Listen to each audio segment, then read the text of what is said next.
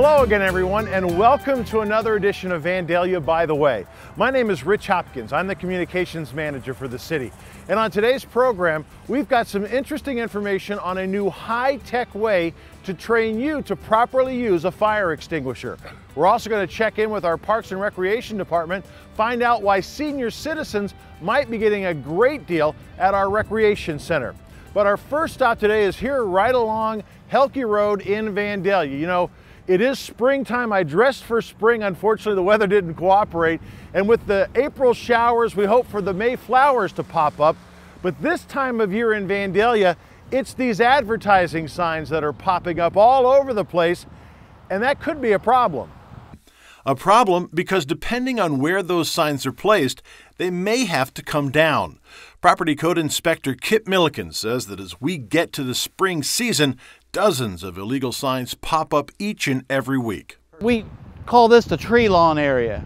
And we see a lot of signs, as you see here, being placed in the tree lawn areas, especially this time of year, garage sales. People are cleaning out the garage, uh, garages and getting ready for those sales. And this is, uh, this is prohibited in the city. These signs right here are prohibited. You cannot place those there.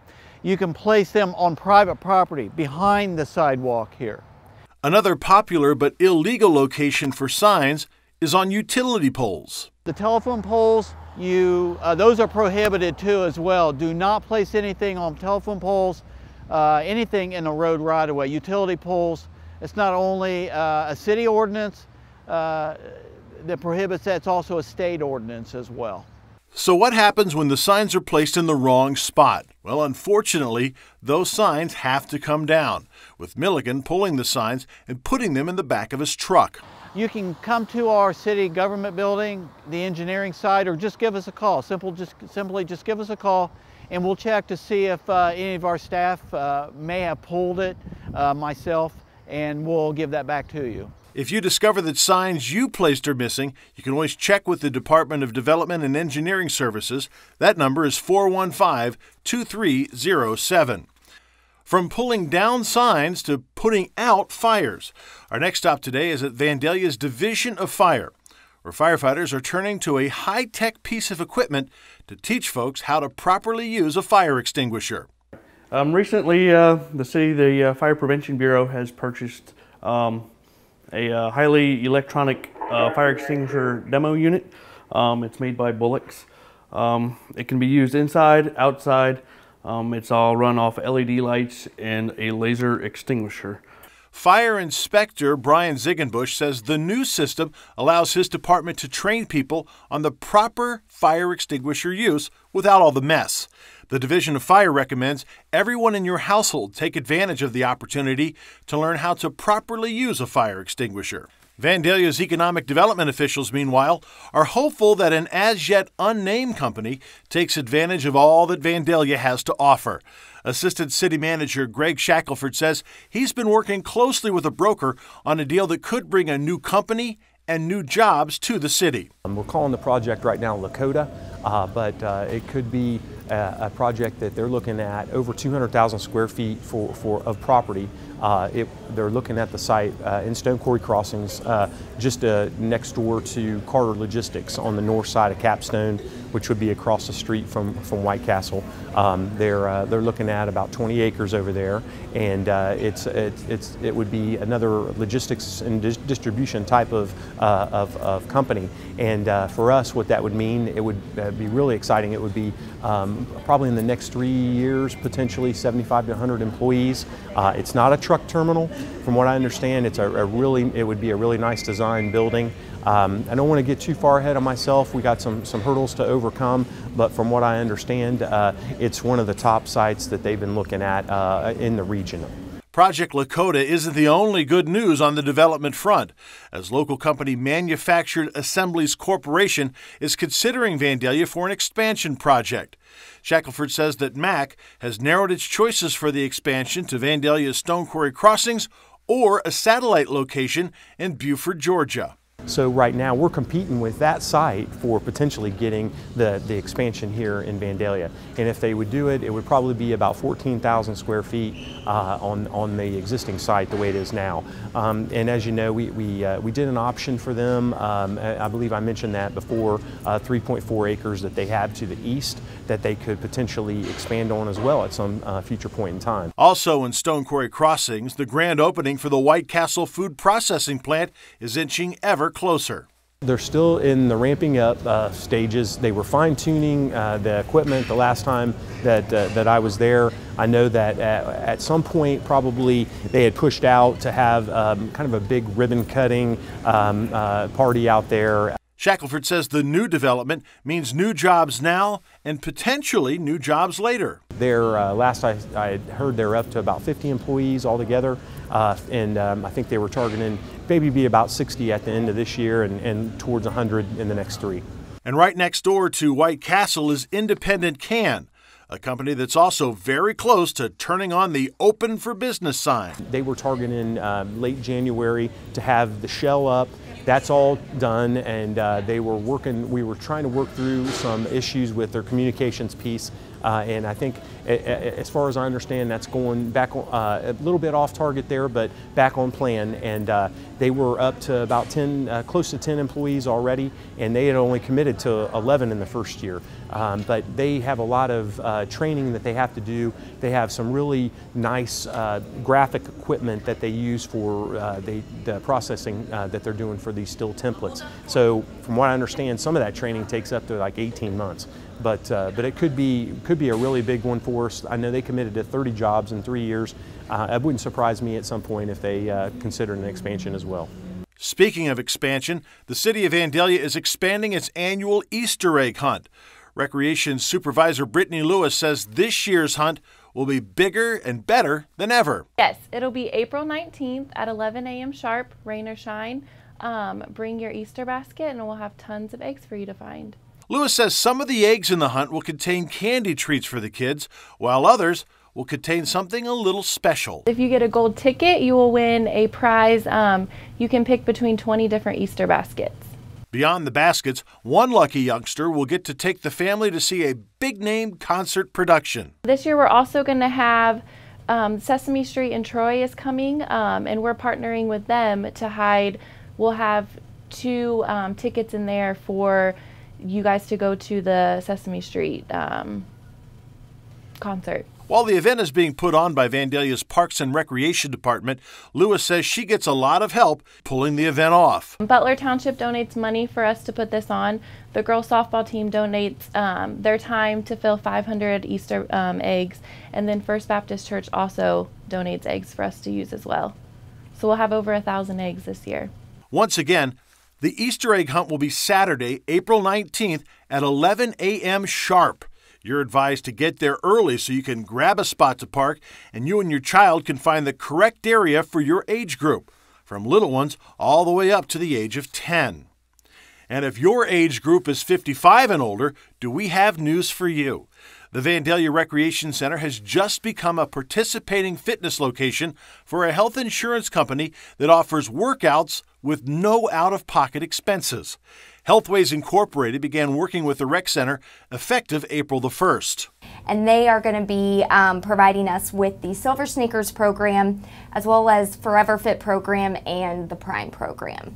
Facility manager Elaine Kaylor says the Healthways program stresses preventative health programs and offer members the opportunity to visit the rec center without dipping into their own pockets for the membership fees. These programs are wonderful opportunities for the participants because um, they can get healthier without any out-of-pocket expenses their premium is actually what pays for um, their membership here at the Recreation Center. It's based on utilization, so we turn in reports to Healthways and get reimbursed based on how many times they use the facility. The idea behind the program is simple. People that work out on a regular basis have fewer health problems down the road. Usually people come to us and, you know, they spend their um, or their disposable income here that you know it's not the food it's not the um, but with this it actually allows them to get that socialization component. It allows them to get that fitness component um, and get a healthy lifestyle so that they can live longer healthier lives. Kaylor says once in the door, Healthway's program participants have their run of the facility, just like any other member of the center. they can walk the track they can go on the fitness floor they can go into the gymnasium or swim laps in the pool all that is um, accessible to them as well as um, the discounts on the um, member programs such as um, drop-in fitness classes swim lessons. They'll get that discount as well as any other member would. To find out if your insurance includes Healthway benefits, you need to pick up the phone. they can uh, contact their insurance cover um, their insurance uh, carrier or they can actually call healthways directly. Uh, they can give them their insurance give them their policy number and they can help them out starting april 1st all you have to do is call the vandalia recreation center and we can check on it for you Many of the Healthway members will be interested in getting involved with the Rec Center's Senior Strength Program. Our Senior Strength Program is a wonderful program. It's been established here for 11 years now. It's wonderful. We have a lot of people already involved in it. We offer a variety of classes every week, usually from the hours of 8 a.m. to noon. We offer different classes yoga, strength class, uh, at different times of every day. So anyone age 55 and older can attend. It's wonderful. Um, it's been going strong for 11 years, so we're very proud of it. Recreation Supervisor Sarah Lavy says the Senior Strength participants have a wide variety of programming and benefits to take care of. enables them to live a healthier, more active life, gets them moving more. And it's also a big social gathering also. They become good friends and it's, it's really become a close community of people here. So. With the Silver Sneakers program ramping up, Lavy says there will be some new classes offered at the center, which will be available to anyone 55 or older. The Silver Sneakers Classic is a strength-based class. We're going to use a variety of equipment. We have um, exercise balls to use, we have exercise bands, we have chairs that they can do exercises seated or standing, along with um, dumbbells of different um, weights that we can offer for the class. So a variety of things for them to get stronger, more active, and it's a very fun class. We're excited for it. Regardless of your current fitness level, Lavy says there's something to be gained from participating in the Senior Strength and Silver Sneakers programs. It's a wonderful way for them to start out. We give modifications, so no matter what level you are, you can take this class, work your way up. Um, the instructors myself, we work with them so that way they can still build up their strength no matter what level they are. Anyone can do it and it's fun, and they will get a great benefit from it.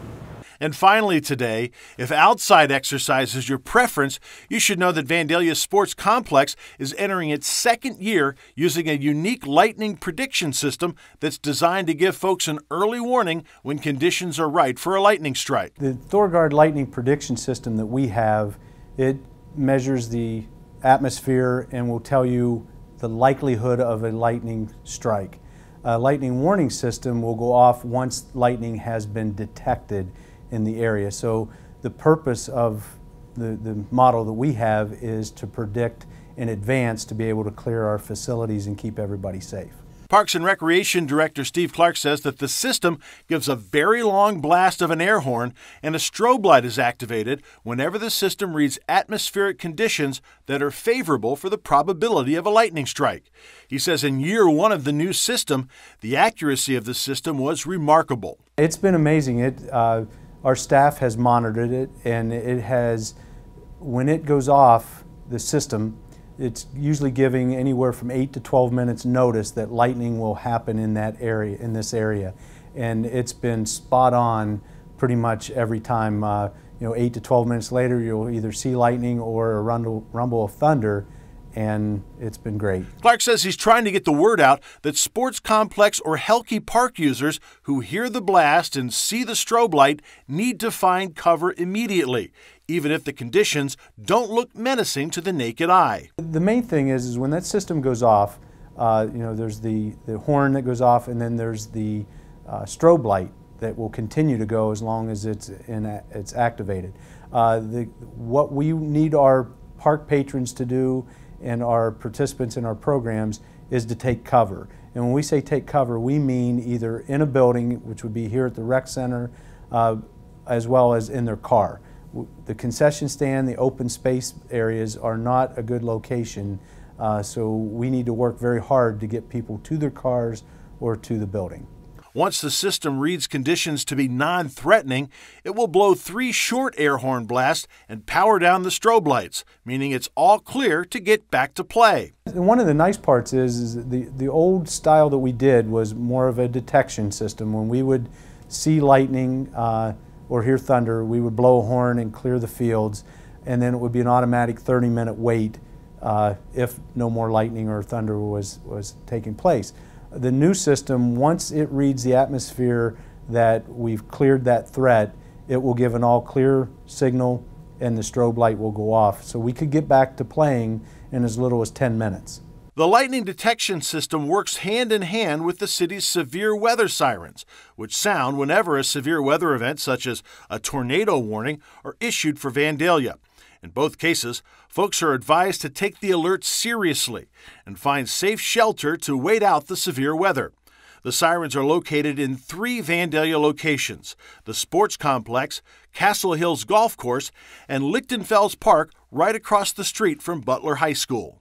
Now there's a reason that the tornado warning sirens are all placed outside near large meeting spaces. And that's because these sirens are designed to warn people who are outside of impending severe weather. If you're in your home, you should be relying on television and radio broadcasts to give you the latest information. That's going to do it for this edition of Vandalia By the Way. I'm Rich Hopkins. Thanks for watching, and we'll see you next time.